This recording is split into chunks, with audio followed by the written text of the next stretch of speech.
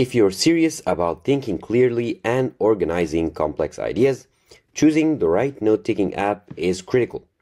In this video, I'm going to be comparing Heptabase and Obsidian, two powerful tools with very different approaches to help you decide which one fits your brain better in 2025.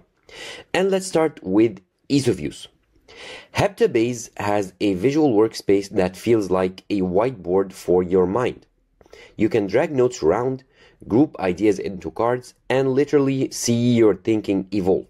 Users on Capterra and G2 love how intuitive it feels for visual learners, though some say it can get chaotic if not managed well. Obsidian takes a more traditional approach. Clean markdown based notes that link together using backlinks and graph view. It's faster and more text focused. Reviews highlight that while there is a learning curve, once you get it, it becomes incredibly fluid and distraction free. Next, features and customizations. Heptabase is built around visual organization. Think mind maps, spatial thinking, and deep idea structuring. It's great for researchers and creatives.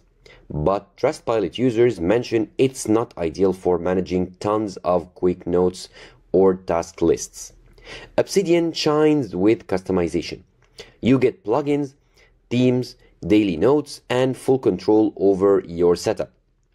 Capterra users say it's like building your own personal knowledge lab, but it's more of a solo tool, no real time collaboration.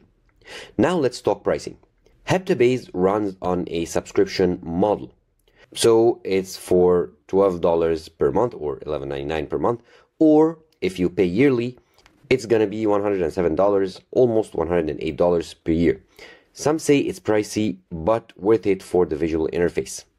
Obsidian is free for personal use, and even commercial licenses are a one time fee. Add ons like Sync and Publish are extra, but optional. Budget wise, Obsidian wins for solo users. Heptabase doesn't have many third party integrations yet. It's self contained by design. Obsidian, while not natively integrated, supports community plugins to connect with tools like Readwise and GitHub. More flexibility, but more setup too. So, in the end, which one is better? If you are a visual thinker who loves mapping out concepts, Heptabase is your tool. If you prefer speed, flexibility, and deep text based note taking, Obsidian is hard to beat. Let me know which one fits your workflow in the comments, Heptabase or Obsidian. And if this helped you choose, give it a like and subscribe for more honest tech comparisons. See you all in the next one.